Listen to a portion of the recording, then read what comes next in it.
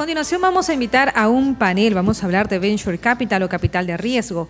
Para ello vamos a invitar a Miguel Herrera, socio de Cuona Capital, Jorge Farfán, director de Mambú Capital, Adelina Dazo, directora de Acción Global Investments, Ana Tamayo, líder de inversiones Fondo Odiseo, César Castillo, CEO de Bing Asset Management, y como moderación, por favor, invitamos a Álvaro Castro Lora, socio de Sumara Hub Legal.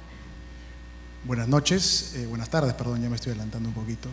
Eh, en primer lugar, muchas gracias a los panelistas por estar aquí. Hemos estado conversando previamente sobre los perfiles de los fondos y, creo que para comenzar y para darle un enfoque de cuáles son los intereses, los apetitos y las preocupaciones de los fondos de Venture Capital, los fondos de capital emprendedor, invirtiendo en startups fintechs, eh, eh, me gustaría que cada uno si brevemente pudiera comentarnos acerca de la, gestora en la que están, la tesis de inversión que tienen o el approach al tipo de fintech en las que invierten. Eso creo que sería de mucha utilidad para, el público.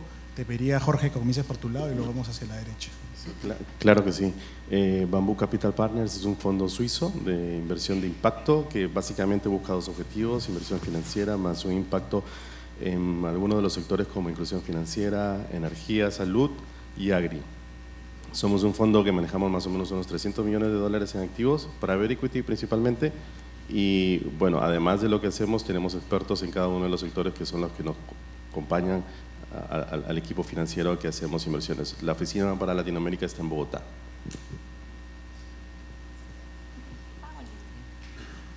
Hola, muy buenas tardes. Eh, bueno, muchísimas gracias por la invitación. Estoy feliz de estar acá conociendo la bella ciudad de Lima. Bueno, yo vengo de Colombia, represento a Odiseo, es un fondo de capital emprendedor de impacto también. Lo que nos diferencia un poco de Bambú es que nosotros entramos en una etapa un poco más temprana, de hecho, mucho más temprana. Nosotros invertimos en early stage o seed, que es compañías que tienen modelos de negocios validados, pero están en etapa de expansión, o sea, todavía Muchas de ellas no han alcanzado a ser rentables, pero están yendo en pro de serlo. Somos un fondo colombiano, pero nuestra tesis y nuestra operación es regional. Nosotros buscamos invertir en la región, en, específicamente en la Alianza del Pacífico, Perú, Chile, México y Colombia. Buscamos compañías, invertir en 24 compañías, em, unos tickets que van más o menos entre 200 y 300 mil dólares y hacer ocho follow-ons que alcanzarán entre un millón y 1.5 millones de dólares. ¿Qué estamos buscando? Entonces, movemos, nos movemos en los dos mundos y para nosotros es indispensable, pues primero que las compañías le apunten a ser rentables, pero por otro lado el impacto que generen en las comunidades de donde operan. ¿Cómo medimos ese impacto? En términos, primero, de generación de empleos. Esperamos que las compañías en las que vamos a invertir generen por lo menos 4.000 empleos en la región. Y segundo, que afecten positivamente a más de un millón de personas. Em, entonces, le estamos apuntando a eso. La compañía, somos generalistas en el sector, puede operar en cualquier sector, desde que muestre métricas de impacto importantes. Muy buenas tardes, gracias por la invitación.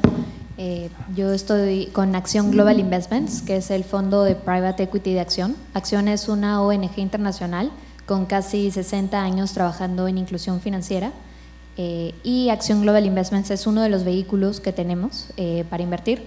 Eh, tenemos un portafolio más o menos de 20 empresas, es global, y invertimos desde microfinancieras que están buscando digitalizarse hasta distribuidores de servicios financieros como agentes no bancarios, bancos corresponsales o plataformas tecnológicas.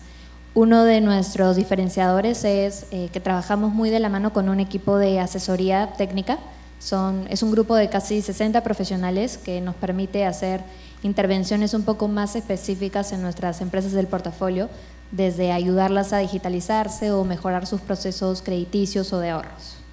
Gracias. Eh, primero, buenas tardes. Gracias a la Universidad del Pacífico por esta oportunidad. Felicidades, el evento, el evento está muy, muy, muy atractivo. Eh, yo vengo de Bing Asset Management. Bing es un administrador de fondos de inversión que se ha especializado los últimos 10 años en atender al sector de inclusión financiera. Hemos realizado inversiones de equity, deuda, deuda subordinada en más de 70 instituciones en la región, distribuidas desde México hasta la Argentina, y siempre nuestro objetivo ha sido canalizar a, nuestros inversionistas a la base de la pirámide con inclusión financiera. Eh, nuestra tesis de inversión en, FinTech se basa en que, eh, dadas las características de la región, demográficas, de población, la alta incidencia de la, de la pequeña y mediana empresa, el próximo unicornio latinoamericano debería venir del sector fintech que esté atendiendo a la base de la pirámide a través de innovación. Creemos que la tecnología es justamente el, instrumento que va a permitir acercar a más personas al sector financiero en esta región que todavía tiene mucho que por hacer en ese, en, ese ámbito. Veo que tenemos mucho en común, eh, César. Eh, mi nombre es Miguel Herrera, eh, también agradezco a la UP y lo felicito por este excelente evento. Yo soy socio cofundador de una gestora de fondos de Venture Capital que se llama Cuona Capital, ah, que está basada en Estados Unidos, pero que es de presencia global. Invertimos en África, Asia y América Latina, eh, en los mercados emergentes de esas regiones y exclusivamente en FinTech para inclusión financiera.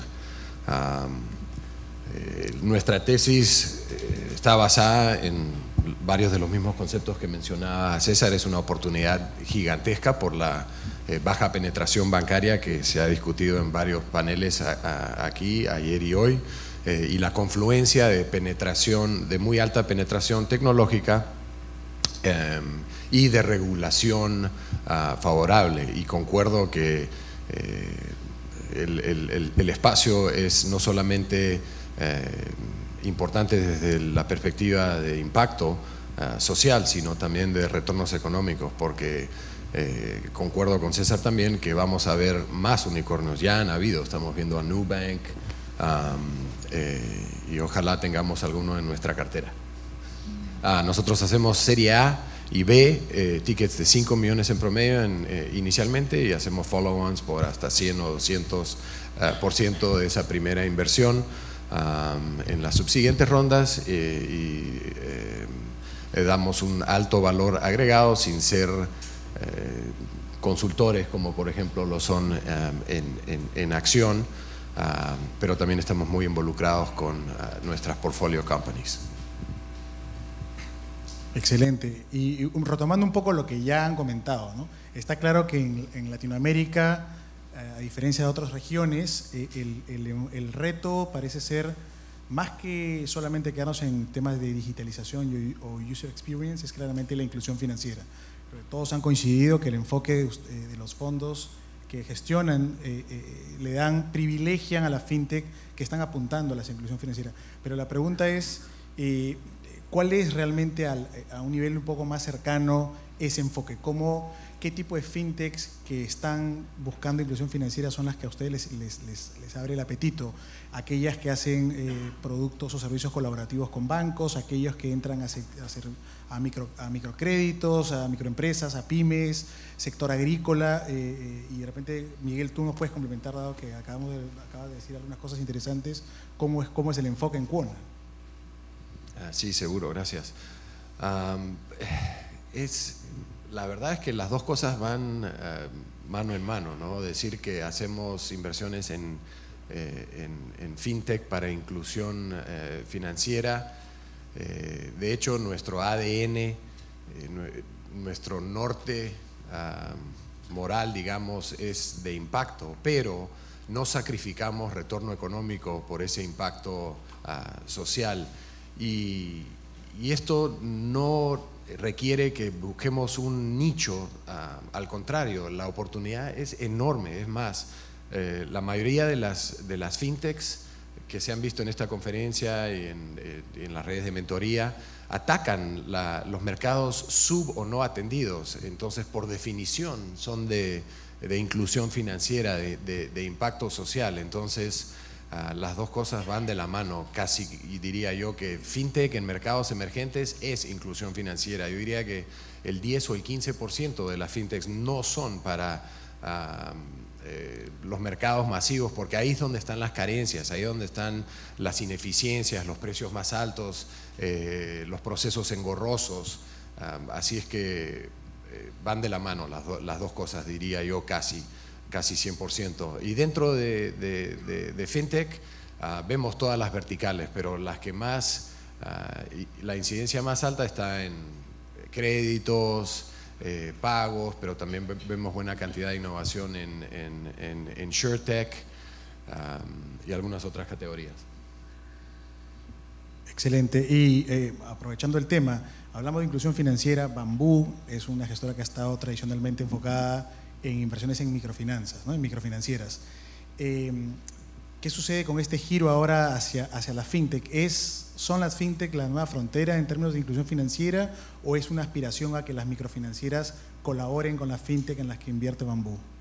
Bueno, yo, pienso que es un poco de todo, ¿no? Me refiero, pueden haber microfinancieras que incursionan en el mundo fintech y, ven el mundo fintech como un elemento para seguir posicionándose y tener más escala en lo que están haciendo. Pero también creo que hemos escuchado ya en estos dos días que no necesariamente eh, el, tema de impacto o de inclusión tiene que venir por la banca o la microfinanza tradicional, sino también por algunas empresas que, que se dedican y que encuentran un nicho específico para apoyar la inclusión microfinanciera. Dicho esto, nosotros hemos tenido un primer fondo que invirtió en banca y microfinanzas. Por ejemplo, acá en Perú invirtió en mi banco. El año pasado hicimos el exit de, mi banco. E invertimos en bancos en Colombia, en Bolivia, en Honduras, El Salvador, Brasil y otros. Pero luego tenemos otro fondo que es un fondo fintech y va en línea con lo que Álvaro indica. Es decir, claramente vemos que hay una vertiente que va de la parte tradicional de, inclusión financiera, que en este caso es banca y microfinanzas, a una parte más dinámica, probablemente más rápida o más eh, complementaria a la hora de hablar de, inclusión. Sin embargo, claramente son, pueden ser dos temas también muy diferentes. Por un lado, podemos tener el caso clásico de cuando a alguien le preguntan acerca de eh, y bueno, ¿y cuál es tu mejor banco? Aquel en donde yo nunca voy, no, nunca piso la oficina. Eh, en microfinanzas pasa un reto súper importante, que es necesariamente ese es el customer experience que queremos. Por ahí va el modelo de, de, inclusión cuando hablamos fintech. Es un reto, porque eh, en microfinanzas mucho se ha hablado acerca de, de cómo hacer el face-to-face -face cliente con la empresa y que necesitas eso porque hay mucha simetría de información. Entonces, creo que ahí hay un reto interesante a la hora de hablar de, fintech en el sistema microfinanciero. Yo diría que es un poco de todo. Puedes tener eh, modelos individuales, pueden ser las mismas microfinanzas las que eh, impulsen ese tema, pero también hay un mundo, como en el caso de ustedes, en donde claramente cada uno tiene un modelo que puede o complementar o puede ser colaborativo o simplemente puede ser individual y a través de eso puede lograrse también la inclusión financiera. Buenísimo. Eh, un, tema adicional que quiero, sobre el que quisiera este, eh, que, Adelina me comentes un poco es, la fintech, a diferencia de cualquier otra startup, eh, tienen un reto importante en, la validación del modelo de negocio desde un punto de vista regulatorio. dado que son empresas tecnológicas que entran a los servicios financieros, entran a terrenos tradicionalmente de empresas reguladas, de bancos o financieras dependiendo de cada país, la regulación puede ser más o menos restrictiva. Entonces, mi pregunta es, ustedes como inversionistas de estas empresas, de estas startups, ¿cómo gestionan el riesgo regulatorio? ¿Tienen alguna lista cerrada de, de, verticales a las que no entran? O, simplemente es algo que ponen este, dentro de su, de su proyección de flujos y contingencias? Sí, eh, no hay una lista cerrada. Eh, te diría que es importante, ¿no? Algo que ya se ha venido hablando en otros paneles, la apertura de la regulación, que se regule solo lo necesario y también eh, en proporcionalidad, ¿no? Hemos invertido en algunos distribuidores de servicios financieros que tienen licencias muy ligeras o algunos que inclusive no las tienen. Eh, nos sentimos un poco más cómodos con aquellas que están orientadas hacia la parte crediticia, eh, porque pensamos, ahí hay algunos países donde no, no tienen regulación tan alta. Eh, aquellas que van más por la parte de ahorros, eh, creemos que tarde o temprano va a haber regulación, ¿no? Eh, pero esperamos que sea la, indicada. ¿no? yo creo que para todos los que invierten en, fintech existe este riesgo. obviamente es considerarlo dentro del modelo de negocio, ver qué cosa es conservador y si con eso aún estamos cómodos, entramos. ¿no? Perfecto. Eh, y bueno, y si seguimos en el tema de inclusión financiera y tiene que ver con regulación, eh, normalmente las jurisdicciones, por lo menos en Latinoamérica, casi todas tienen topes en la tasa de interés que pueden cobrar en préstamos eh, otorgados por alguien distinto a un banco o una financiera. Coincidentemente, las personas o las empresas que están necesitadas de ser incluidas financieramente son aquellas o que no acceden al crédito o acceden a créditos a tasas altas. Entonces vivimos pues con un riesgo regulatorio entre que los que pueden prestar lo pueden hacer a tasas más altas que la límite que les aplica por no ser bancos.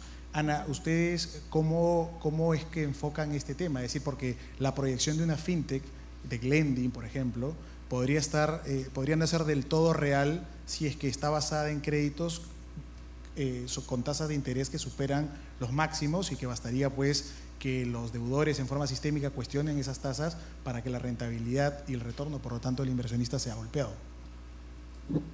Mira, esa, esa pregunta que me haces encaja perfecto con algo que les iba a comentar y es, Odiseo es un fondo muy joven, de hecho empezamos a ser activos este año y nuestra primera inversión fue en una fintech.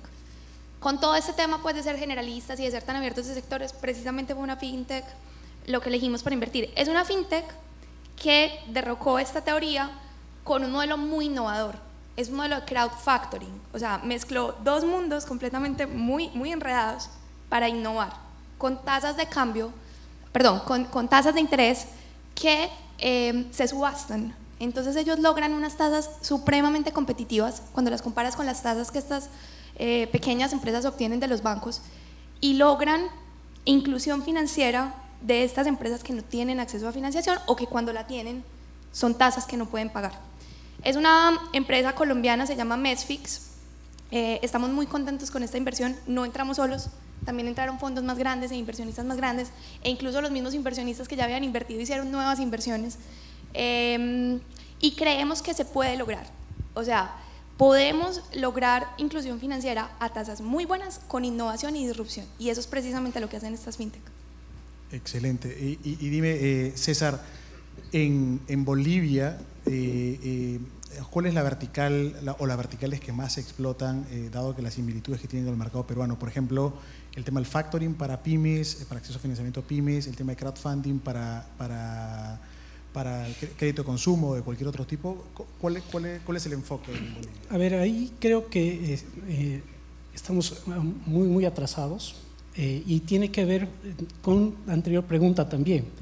Tema que eh, eh, la regulación en Bolivia está muy limitada, aparte que las exigencias son bastante altas, son normas todavía muy, muy, muy antiguas, y también la capacidad que tiene el regulador de entender nuevas cosas se ve limitada. ¿no? Entonces, eso lo que hace es que el sector de fintech esté un poco, mucho más atrasado de lo que está pasando acá en el Perú. Y también, respecto a la anterior pregunta, se han establecido, por ejemplo, en el tema crediticio, techos a las tasas. Entonces, cuando tú estableces techos a las tasas de interés, provocas un proceso de desinclusión financiera, porque no, es, no, no, logras generar un, eh, un sistema eficiente de evaluación riesgo eh, rentabilidad. ¿no? Entonces, ese es un fenómeno que está pasando en Bolivia y pasa en otros países. Por lo tanto, como inversionistas sí estamos muy atentos a cuál es la eh, regulación respecto a tasas de interés en, cada mercado que invertimos. Claro, porque eh, poner un tope a la tasa de interés no, no impide que el fenómeno se produzca en la realidad. Lo que pasa es que empujas a la gente al mercado negro, ¿no es cierto? Al agiotista, al donde no hay ninguna protección al consumidor. Eh, efectivamente eso es algo que, compartimos en, Perú y en otros países de la región. Em, ahora, ya girando de la parte regulatoria a la parte más del perfil de inversión, eh, me gustaría saber, Miguel, ustedes en los fondos, no sé si lo comentaste, son más de las colocaciones en, forma en equity, en deuda, ¿cómo calza esto con, con startups que muchas veces lo que menos tienen es, este, al inicio, es cash flow? Sí, tremendo, craso error no mencionar que somos eh, inversionistas 100% de equity o, o, quasi equity. El único tipo de, deuda que hacemos es convertible, ah, que normalmente es un puente a una ronda ah, futura, a un descuento eh, predeterminado según el, plazo de tiempo ah, al, precio de la, de, la siguiente eh, ronda. ¿Qué instrumento? O sea, equity era la primera pregunta. ¿Deuda? ¿Alguna variable en el medio? Eh, no, bueno, más específicamente que equity eh, es eh, em, preferentes, acciones que le dan al inversionista minoritario eh, más tranquilidad, más derechos, más protecciones que una acción ah, común. Entonces, eh, casi exclusivamente eh, invertimos en acciones preferentes. Y cuando hacemos notas son convertibles a, acciones preferentes. Jorge, y desde Bambú, definitivamente la estructuración de la tesis de inversión, si es que como decía Miguel, si era con equity o con deuda, efectivamente es algo que, los lleva a competir a ustedes como fondos de VC, con ángeles o inclusive con inversionistas estratégicos. Em, en la experiencia que tienen ustedes, eh, ¿qué pueden recomendarle a los emprendedores, a, los, a, las startups fintechs en tema de cómo estructurar sus rondas de inversión? A veces sucede que a veces hay la tentación de saltarse un poco, ir casi del, del, Friends and Family directamente al estratégico y o no trabajar con ángeles previamente o no trabajar con fondos de venture capital. Y eso sí es algo sobre lo cual me gustaría recibir comentarios de todos ustedes, pero me gustaría que tú comiences, Jorge. Sí, sí yo, yo creo que eso parte también dependiendo de, de, la estrategia de, de, ambos, ¿no? si es un inversionista estratégico y si es un fondo. El inversionista estratégico a veces, eh, no necesariamente, pero puede ser que esté buscando una fintech solamente para su negocio y que exista una fintech para su negocio no está mal. Si es que haya en el mercado alguien que ha desarrollado y se quiere hablar de esa forma, mm, son decisiones privadas y, puede ser interesante. Pero para aquellas fintech que no necesariamente están buscando, y, y, digo esto, hago la separación porque hacer una estructuración con un solo socio donde sabes que te vas a casar por mucho tiempo, por lo menos eh, quizá va a ser tu único socio, eh, podría ser el caso, en el caso de si es un inversionista estratégico es diferente, probablemente sería más sencillo, eh, en el término de las condiciones, pero eh, estás haciendo una apuesta ¿no? por, por, por, por, irte con él y no necesariamente ver a otras opciones. Eso tiene un riesgo, porque si no te sale esa opción, pues te quedaste sin otra, eh, otro inversionista. Pero si te vas por el otro lado, que es el caso, digamos, más explorado, el lado de, de buscar inversionistas ángeles o VCs, lo, creo que lo primero es empezar con Friends and Family, demostrar que esto tiene un track record, que funciona, que ha habido cierto resultado, que los números dan, que el business plan es correcto, que, que hay cierta escalabilidad, etcétera. Probablemente lo que ustedes han, buscado, han, escuchado estos dos días.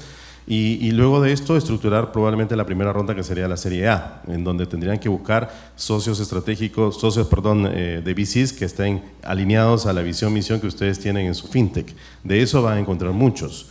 Eh, hay varias formas de estructurar. Ustedes pueden llamar a varios para que hagan una competencia. Por ejemplo, invitan a cuatro o cinco y los cuatro miran la inversión y luego escogen a dos, a uno, a tres. Ustedes, eh, o, simplemente escoges, sabes muy bien con quién quieres ir y, estableces una relación de mucho tiempo, de mucha confianza, en donde luego que han establecido esta relación, pues pueden establecer ya la decisión de inversión. En cuanto a qué es lo que se busca inicialmente, pues eh, es equity, es, eh, patrimonio, y en el tiempo esto podrá ir cambiando a una deuda convertible, o si no a una deuda, perdón, a, una, a un equity, sí, una deuda convertible o a un, o a un equity puente, o, como mencionaba Miguel, eh, con una tasa, con un descuento para la próxima, en el próximo pricing tú, entras inicialmente con una deuda convertible. Eso va a variar dependiendo de qué, busque eh, la fintech en su momento, ¿no? Perfecto, Adelina, y complementando eso, también me ha pasado al revés, ¿no? que alguna vez se acompañó a algún emprendedor, una fintech, a buscar a un fondo de VC, cuando le dijeron, bueno, ¿cómo es tu cap table? Eh, ¿Tienes friends and family? Y hubo una respuesta muy, muy eh, que te digo, muy romántica, que fue, no, con mi familia hemos quedado que yo esto me lo tengo que buscar por mí mismo. Entonces el VC le dijo, suena muy bien, pero si tu familia y tus amigos no apuestan por tu proyecto, ¿yo por qué? ¿no? Entonces, ¿ustedes qué tan rigurosos son en ese tema? Si no tienen ningún problema de invertir en, en startups en las que no hayan, que el fondeo sea, sea solamente de los, de los founders, o si les exigen haber cumplido este escalón previo de los Friends and Family o de los, de los Ángeles. Sí. Eh, Creo que es muy importante que los emprendedores eh, tengan cierto porcentaje a lo largo de, la vida ¿no? del negocio para que estén lo suficientemente incentivados. ¿no? Entonces, eh, hasta cierto punto seguramente querrán tener la mayoría, pero deben también estar abiertos a, dejarlo pasar y a, estar dispuestos a, a, diluirse más adelante buscando un mayor valor. ¿no? Lo que nosotros hemos visto es que a medida van, van pasando las rondas, que como, como, comentaba Jorge, empiezan con los Friends and Family o con el dinero de los fundadores, luego vienen los ángeles que los pueden ayudar con, conocimientos, con network, ¿no? Eh, luego vienen los venture capitals y luego más adelante puede venir ese inversionista estratégico que ya permite un exit para los anteriores, ¿no? Entonces, inclusive hasta el final, eh, nosotros estructuramos también opciones para que estos fundadores tengan lo suficiente en la empresa para estar completamente incentivados, ¿no? Eh, y naturalmente los Friends and Family poco a poco eh, cayendo su porcentaje, tenemos que hay distintas situaciones, así que no, no estamos cerrados a eso, pero sí al hecho de que el fundador siempre se quede con algo y hacerlo entender que no es necesario que siempre tenga la mayoría, al contrario, los fondos de VCs nos gusta que exista esa apertura a que eventualmente todos busquemos un exit conjunto, ¿no?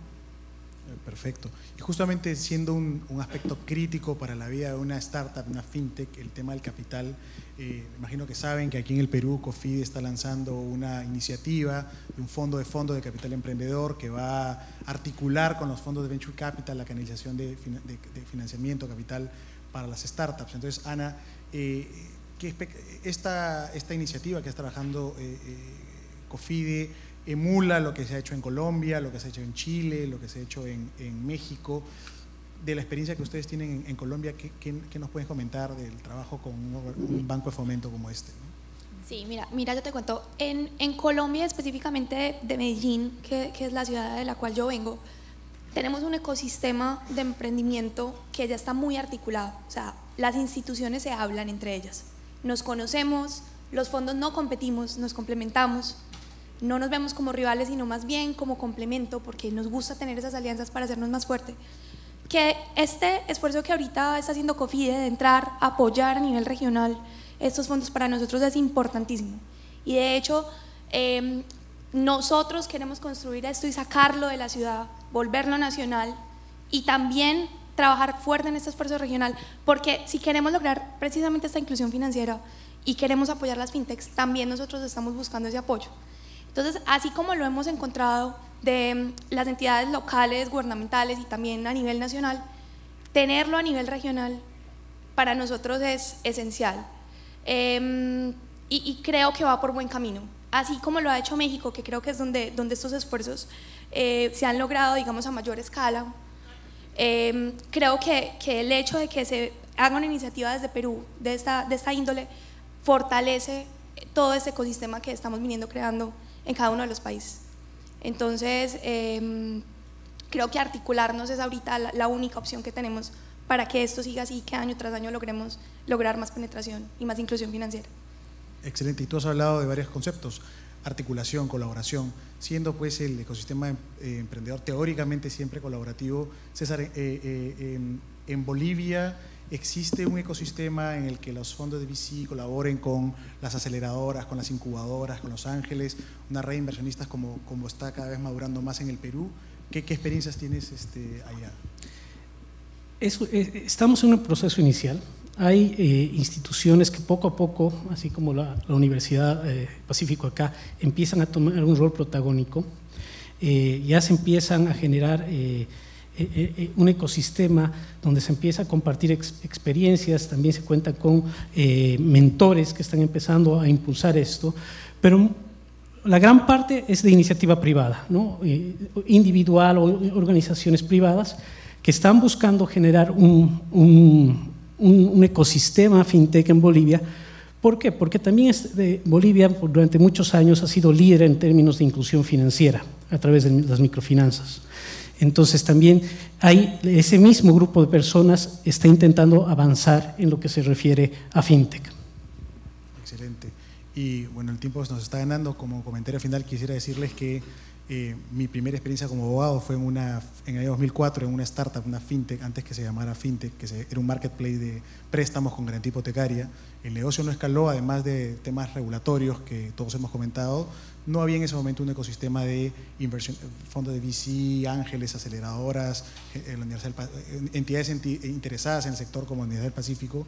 Y creo que es muy saludable para el ecosistema que hoy sí haya y que iniciativas como esa hoy día se estén replicando eh, en forma progresiva. Así que le deseamos todos los éxitos a los fondos, a los fondos que ustedes representan. Esperamos que inviertan con mucho ánimo o que sigan invirtiendo con mucho ánimo en Perú y, en colaboración con los, con los otros players este, locales. Bueno, muchas gracias.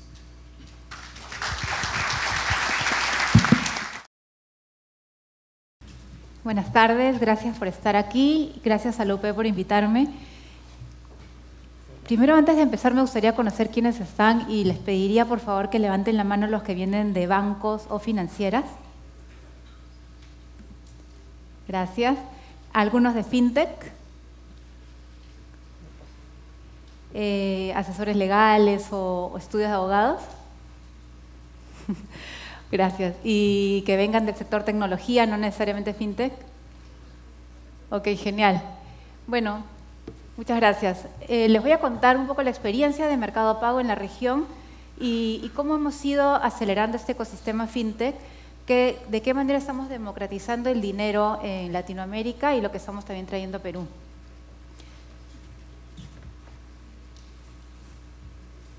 El crecimiento que hemos tenido en los últimos años ha sido realmente asombroso. Se han visto las noticias de, estos, de estas últimas semanas, salieron los resultados de la empresa en cuanto a cotización de bolsa y hemos duplicado el valor de la acción eh, con un crecimiento muy impulsado sobre todo por la parte del negocio relacionado a pagos digitales a través de Mercado Pago. En el último año hicimos 18 billions dólares eh, de procesamiento de pagos en toda Latinoamérica, que representó un crecimiento de más del 30%. En el primer trimestre vamos creciendo en un 75% en número de transacciones. Eh, la verdad que muy impulsado este primer trimestre con la salida al mundo físico que ahora les cuento. El primer paso de, nuestra fintech fue incursionar en el mundo de pagos digitales a través de las soluciones enfocadas en comercio electrónico, em, con una propuesta de valor sumamente atractiva porque va desde la cobertura de contracargos, eh, que le permita al comercio evitar este riesgo de fraude al que, al que cualquier comercio se expone y en el que en Perú sobre todo está muy, muy desprotegido porque básicamente cualquier transacción que es desconocida en comercio electrónico la tiene que asumir el comercio. Entonces, en ese sentido, Mercado Pago tiene eh, un modelo de riesgo y un motor antifraude sumamente potente que permite minimizar este riesgo, pero a la vez permite generar coberturas, es una especie de seguro ante esa situación a los comercios.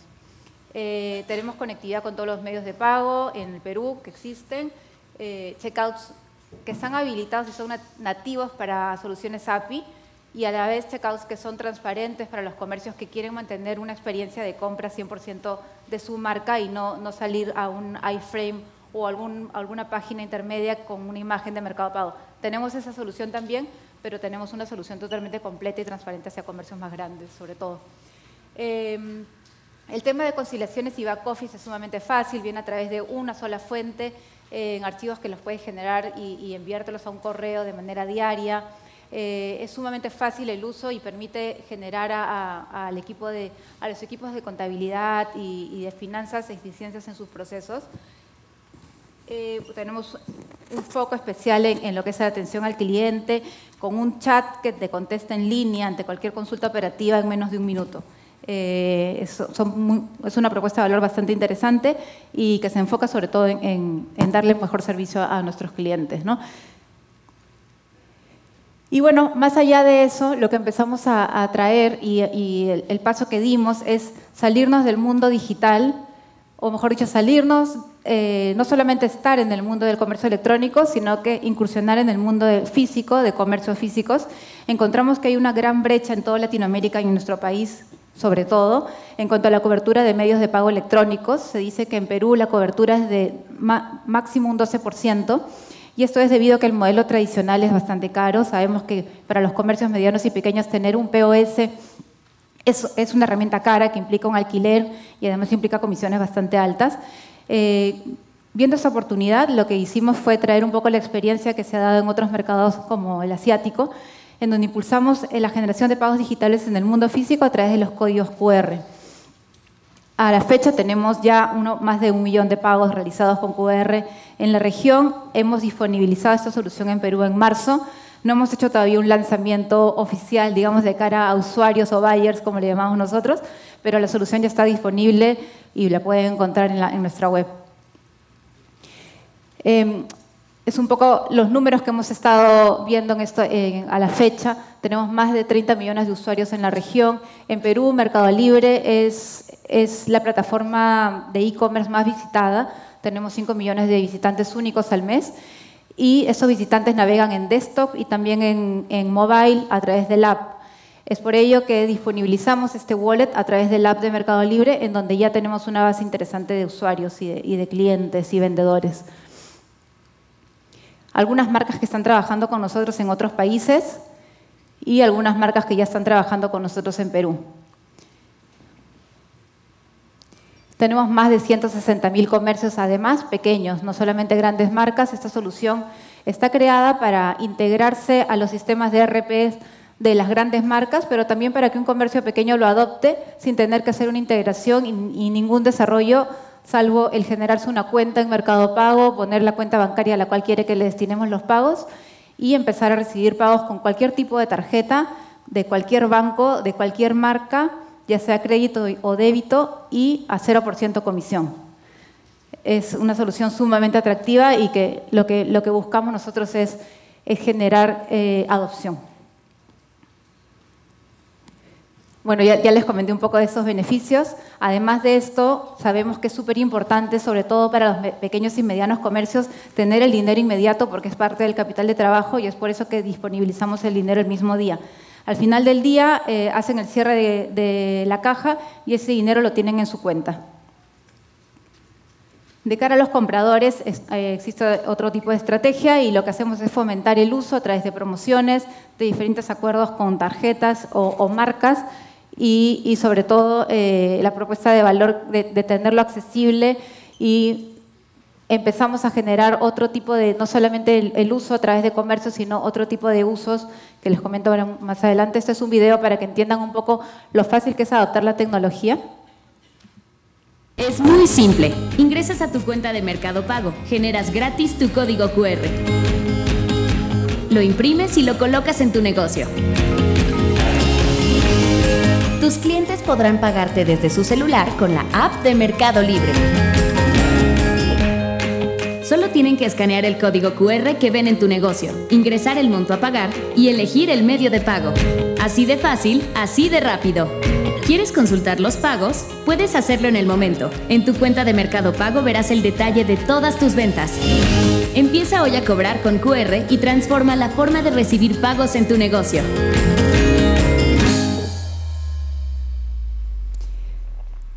Bueno, como vieron es súper fácil y esto recién comienza.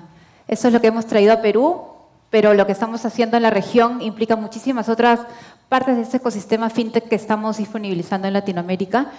Y una de ellas es eh, el acceso a, MPOS o Endpoint, que es nuestro producto, que también permite eh, empezar a cortar esta brecha de comercios y del acceso a los pagos digitales o pagos electrónicos. Eh, Hoy lo tenemos en Perú, hay empresas como, como comentaron antes, EasyPay y Vendemás que, que ya lo han traído, pero es, es, una herramienta que nosotros también impulsamos y que en un tiempo estará también con nosotros eh, en Perú disponible. Además sacamos tarjetas, lo que buscamos es generar democratización de los pagos y esto va desde la inclusión financiera tanto de comercios como de personas. Eh, hemos emitido tarjetas prepago en Argentina, en México, tenemos una cobrante con un banco en, lo que respecta a tarjetas de crédito, en México está por lanzarse otra y en Perú es algo que también vamos a, impulsar. Eh, y ahí sí hablamos de cooperación totalmente entre el sector financiero tradicional y, y, y este sector de fintech. En cuanto a créditos, empezamos a dar créditos en Argentina a comercios que venden dentro de nuestra plataforma de Mercado Libre.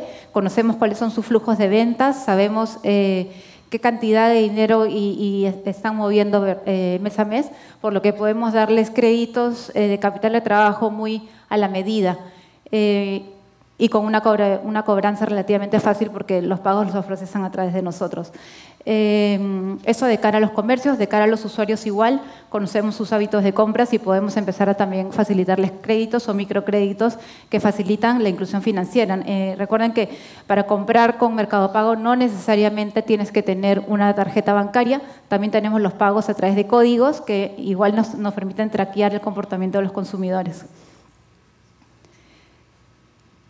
Y empezamos a potenciar el ahorro, les cuento un poco, esta es una iniciativa nueva empezamos a generar un ecosistema eh, dentro de esta billetera digital que busca no solamente facilitar los pagos a los recibir pagos a los comercios con tarjetas y a las personas a través del código QR, que en sí genera una experiencia mucho más em, más placentera al momento de la compra, al evitar colas y al, evitar eh, estar esperando.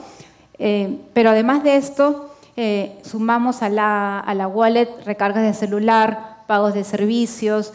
En Argentina se está recargando el, transporte público a través de la billetera de Mercado Libre, que es algo que a nosotros nos encantaría impulsar en Perú y, y ojalá en algún momento podamos contar con una solución de este tipo para nuestra ciudad, Lima y en general para el país.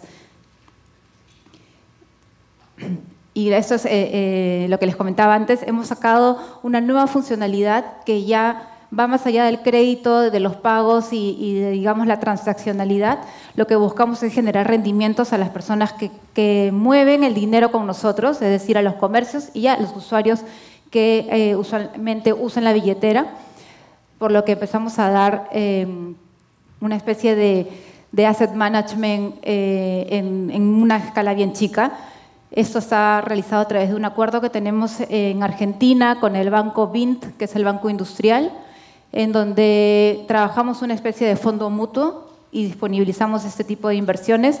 Hablamos de una competición con este, con este partner en este caso y, probablemente estas cosas son, eso es súper nuevo, se acaba de lanzar ahora en nuestro mercado que digamos es nuestra casa matriz y es algo que se va a disponibilizar en el resto de países.